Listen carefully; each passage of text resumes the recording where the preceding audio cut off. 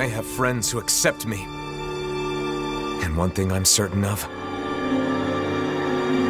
they'll accept you too.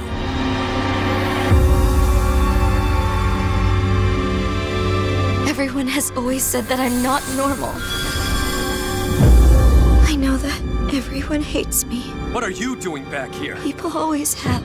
Even my own father hates me. Everyone! I'm different from everyone!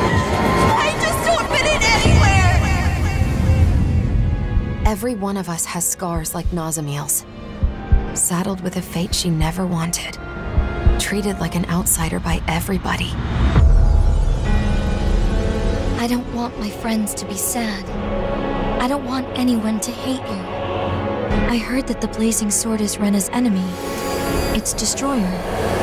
Nazamiel, are you scared of me? I'm all alone. And I always will be.